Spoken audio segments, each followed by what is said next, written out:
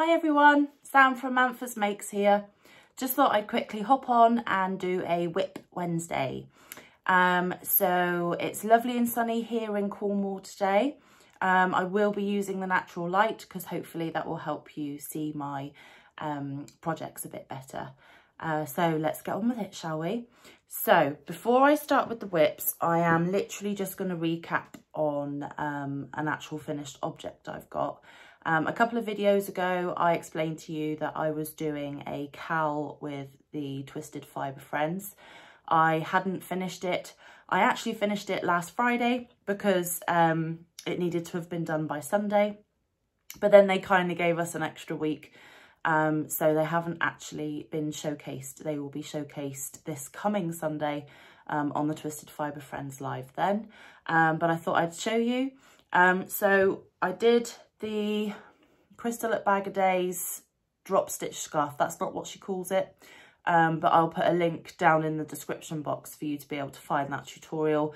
Lovely, super easy, very clear instructions. Um, so if you like what you see, you want to make one of your own, then um, check that description out down below and I'm sure you'll have fun with it.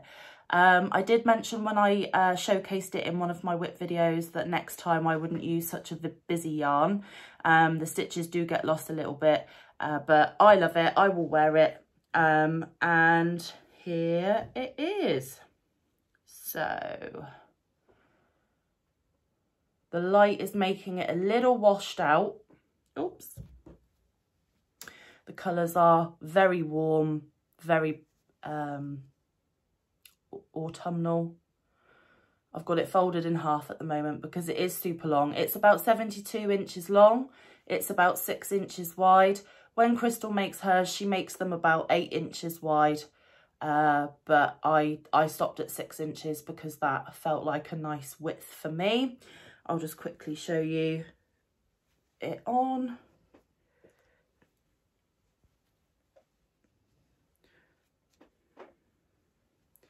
And because it's nice and long I can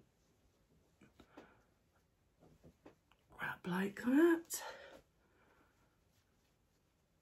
And even with the two inches short on the actual scarf as you can see if it's particularly cold I can put it up over my nose to keep me nice and toasty and the ends do drape nicely down the front of me. So that is my FO Love it. Lovely yarn to work with. That was the Stylecraft Amore that I again showed you in one of my previous videos in the colourway Pebbles. So that's my FO. Um, now, onto my WIPs. So, um, I think I'll just grab her a second. Again, in one of my previous videos, I introduced you to Deirdre, my little mannequin lady here, and she's wearing one of the hooded cowls that I've shown you before. She's just for display purposes. Um, Mike's nan, Mary, she won't be watching this, but she's a lovely lady.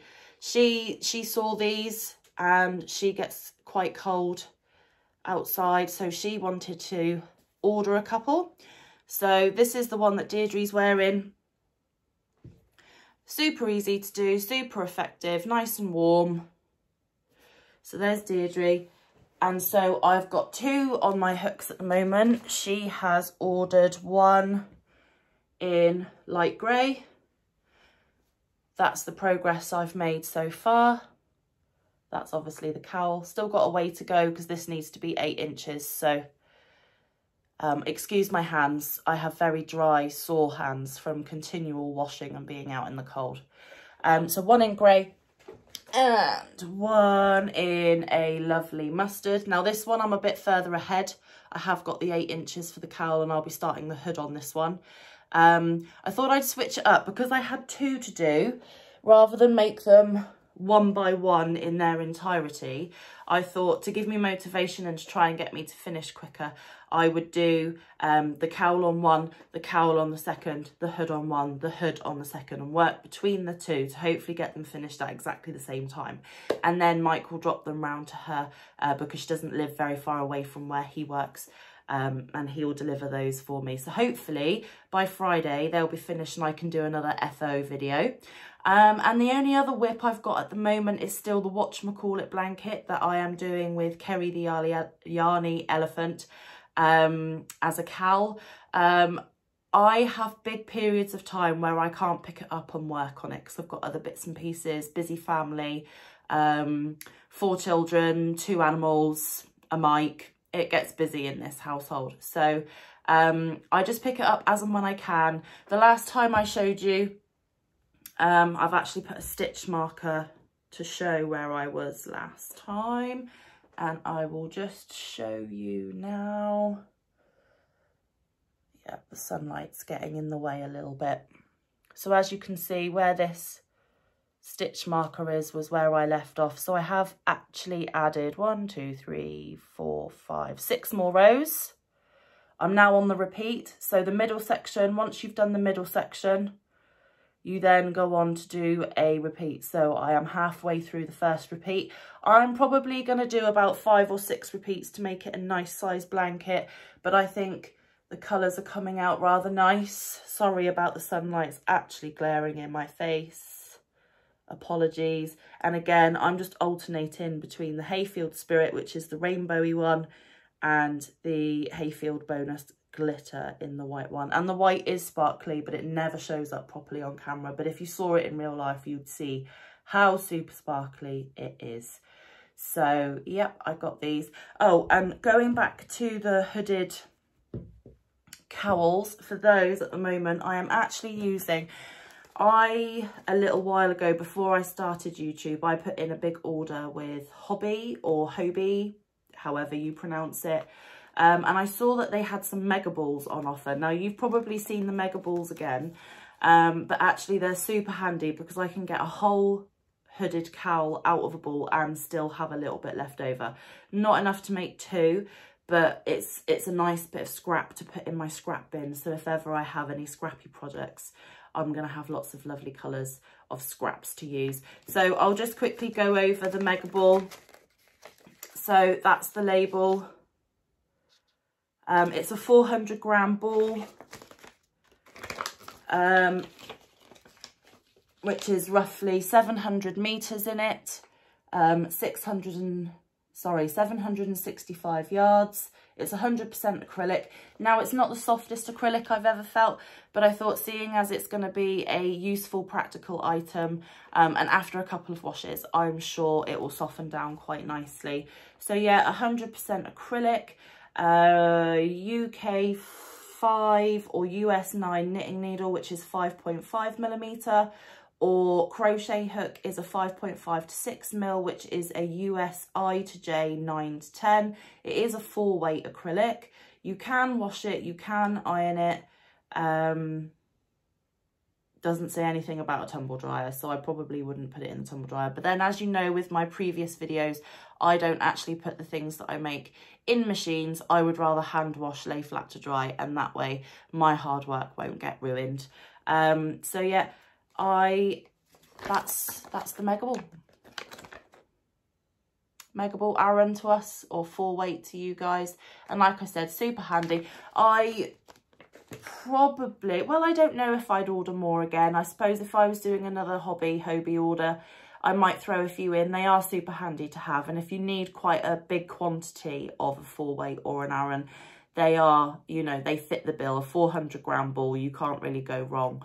Um, but like I said, it's not the softest acrylic I've worked with. I would prefer it a little bit softer. Um, so I may actually spend a little bit more money on getting some of the smaller, softer balls going forward. But seeing as I bought them, I needed to use them up. And like I said, after a wash, they'd probably soften up. So yeah, two hooded cowls, my whatchamacallit blanket, my finished Bag O Day scarf, um, so I'm just going to be concentrating on getting the cowls finished this week uh, for Mike's Nan.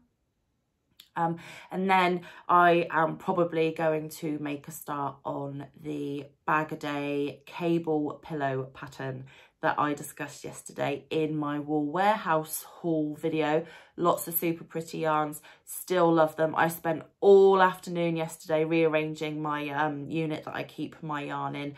Got it looking super pretty super inspiring and every time i walk past i just want to grab it all squish it all work with it all. And actually speaking with mike um, I've asked if maybe it could be relocated into this room, not right behind me where you can see the door because it's quite a big unit, but over there where you can't see, I have um, a dresser unit which we're going to put where the wool is now and bring the wool in here. And then I can sit in front of my yarn and make my backdrop a bit more crochet related but that won't be happening until the weekend so you won't see that until next week's videos at the earliest but I'm super excited and I get to organise it again and seeing as I'm a little bit OCD um, that will please me greatly because I love to organise and um, sort things out.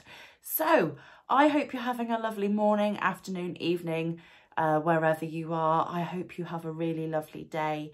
Um, I just want to thank everyone again for returning, watching me again. Anybody new, hi, lovely to meet you. Um, please like the video if, if you like the content, leave a comment if you have something to say. Um, and don't forget to click the notification bell and set it to all because then you'll be notified every time I upload a video. Um, so yes, it's already gone 11 minutes on this video and I just wanted it to be a bit shorter today. So again, thank you for coming over. You're welcome anytime. And I hope to be doing a FO video Friday with the hooded cows to show you that they are indeed complete. And I might have even had time to start on the pillow that I want to do, but we will see. So take care, guys. Love you all loads. Thanks again for coming round. Bye.